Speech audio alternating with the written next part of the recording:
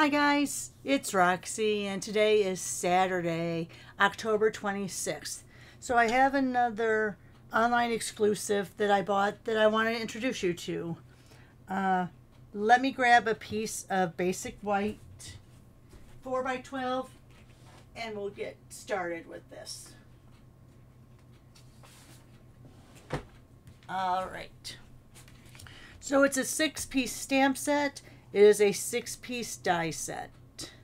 All right, and we're going to do a couple different stampings of each because the dies you can use to cut out as the whole image or just the flowers themselves. And then here's the other items that match up to stamps. So let's go ahead and show that to you. First thing I'm going to do is I am going to take the flowers and I'm going to stamp a couple times. Oh, sorry, that was very loud. I'm going to stamp a couple times over here so we can cut those out. Now this is a distinctive stamp set, which means it's there's etching and variations on the stamp so that it comes out looking like textured as you can see here. Now if it doesn't show up like that, you probably need to move your ink off of your uh, stamp pad a little bit. That way it will show through. And I did do that earlier with my old olive pad because it is a newer pad. And let me go ahead. I'll bring this over here. We're going to stamp this this way. I think we're going to do a couple like this. Now see how that is? I'm not sure if that is the greatest inking job that I did. Now I did move the ink around, so maybe I moved it too much, but let me go stamp pad to stamp and see if that works better. And maybe I didn't do enough pressure. Let me get out my little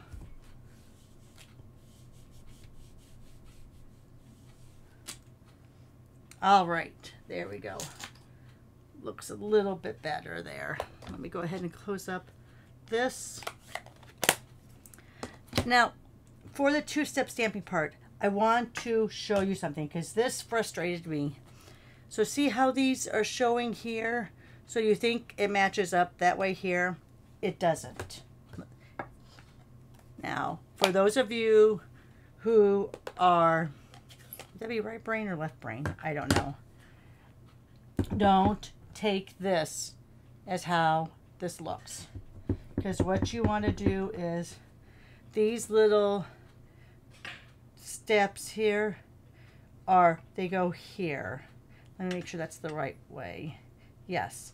So see how this comes up and this comes up? That's going to be where those uh, flowers go. So I'm going to get there. And then I'm going to make sure that these two little ones right here are on their stems too.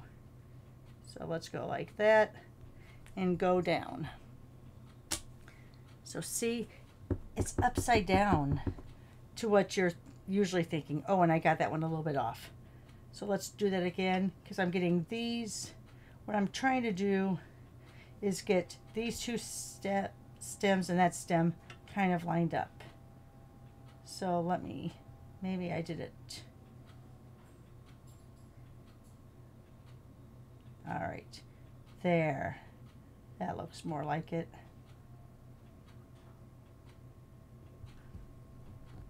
Did I get my head in the shot? Sorry. So there you are. And that one, as you can see, I'm just a little bit off on.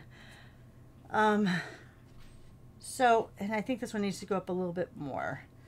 But you get the gist of it. And I'll, I'll practice a little bit more. I don't like pre-record and edit and do all of that stuff and I haven't played with this set, so you're getting the live out of the box version for me. So I think that has to go just up a little bit because then that would bring that up over and that would bring. But yes, so how it looks here is not how it stamps on here. It's upside down. All right, just so you know. Let's go ahead and do these other little ones over here. All right, so this is another leaf. That looks like that's, here's another leaf. And I think this is another leaf. Yeah, that's definitely flowers. Now this, I already did that one. This is the one I didn't do yet. All right, let's bring that over here. Go back to my petunia pop. And this is definitely a flower. I think this goes probably right here. All right, because I don't think they really match up here. No. I'll do it there, but, oh, it might be. Huh, I don't know. I'll do more research throughout the day.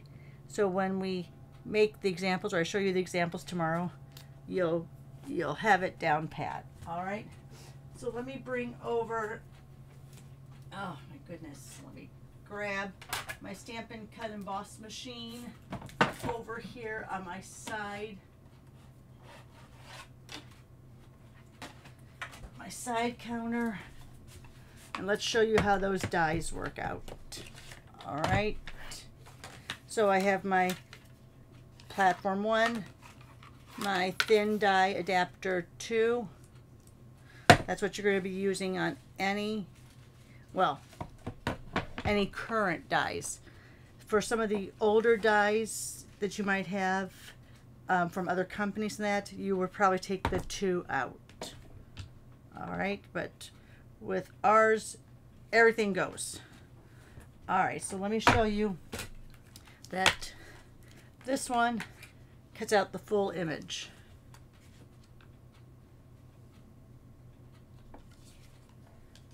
Uh, let's figure out which way it is.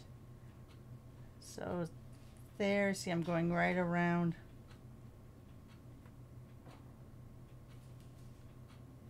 Yeah, I really stamped that one off.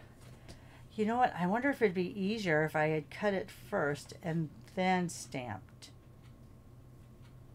That might have been the smarter thing to do. Roxi, remember that for next time. All right, let me tape this down. Get that cutting plate underneath there and sandwich that in. In fact, we might try that here. We might try that here.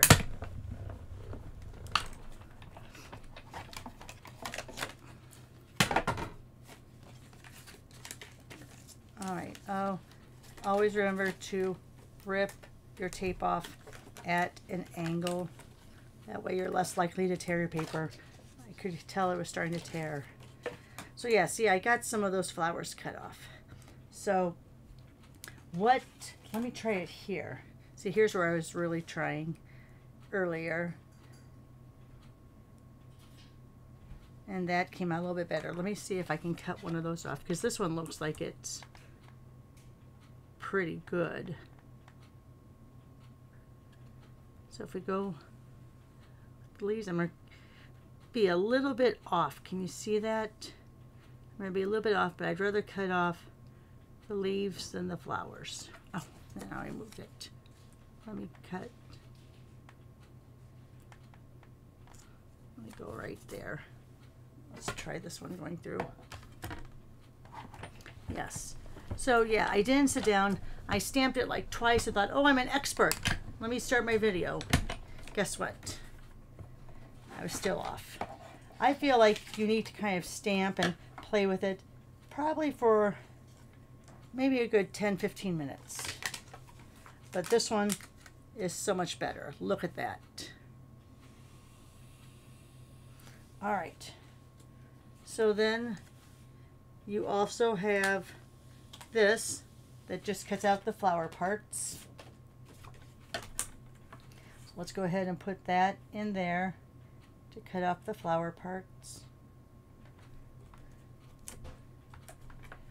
When I'm not showing videos, I actually am using my magnetic pad or plate that was retired by Stampin' Up! because there was quality issues. I never had the issues, but I might have been the lucky one. I mean, it is peeling a little bit, peels up, but I just, for things like this, because I really, the tape really bothers me because it rips my card all the time. So then look at all of those. Let me do that at an angle. Look at all those gorgeous flowers that that cuts out, that one die cuts out. So now you can go ahead and you could put those, oops, sorry. You can put those onto your card base. Hang on.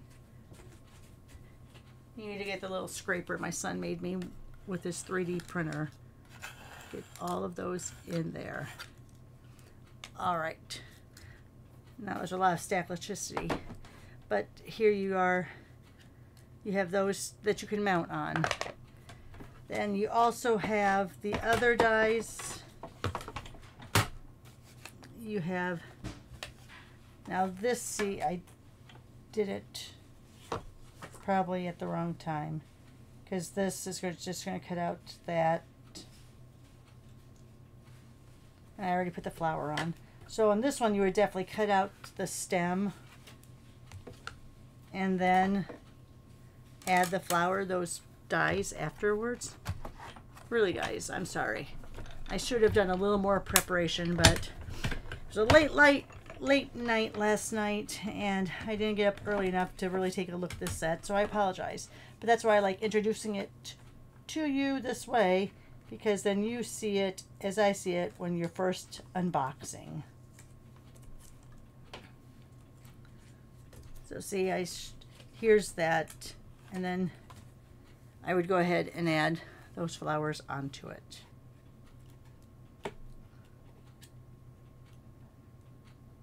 See that? All right, so there's one of those stems. Let's see. We did the overall one. Yes, we did the flowers. So we just have these three little ones left over here. So we have this that does this one. See how that lines up right there? Put tape over that. We have this. It's going to do this one.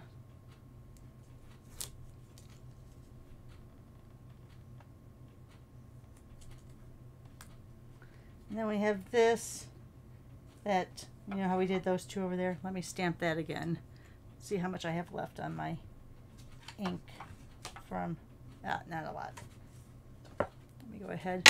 And of course, stamping it on your stamping platform is not the desired uh, effect you want.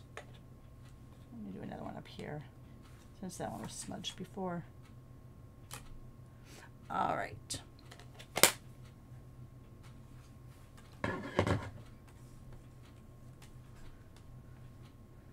And let's go ahead. And that goes down like that. Let me see if this works. All right. Let's run all those through.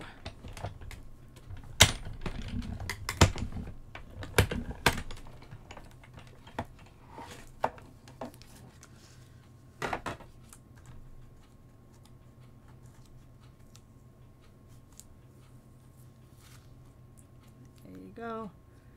Let me put that down there. There's the two flowers.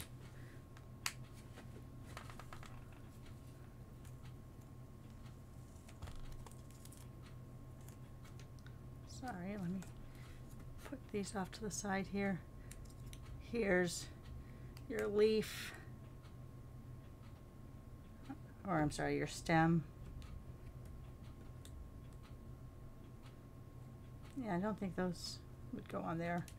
Oh my goodness.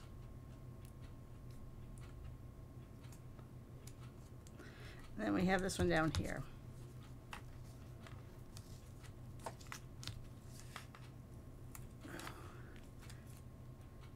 Again, I shouldn't have stamped the flowers on first, but there you have it.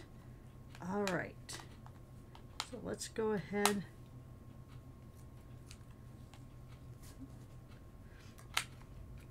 So there you are. There's how you cut those all out. Here's this one. So six stamps, six dies. Gotta clean them off. Let me go ahead and put these on my hand and we'll put this on my chair for right now.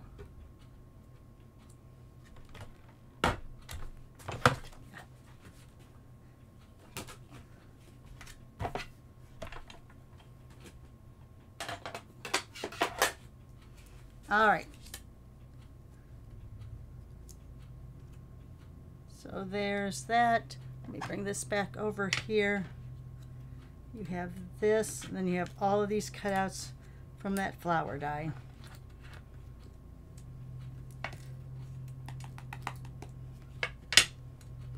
Of stack electricity. Hey, well, well, I'm turning these all over. Do you want to give me a like?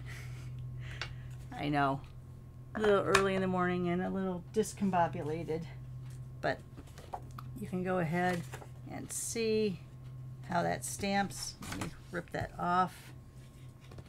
Here's that overall cutout. This one was the bad one. But there you have it. So they all work together.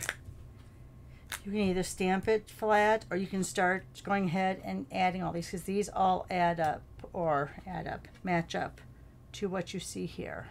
So like see here's that. Here's this one. So these are all the pieces of that.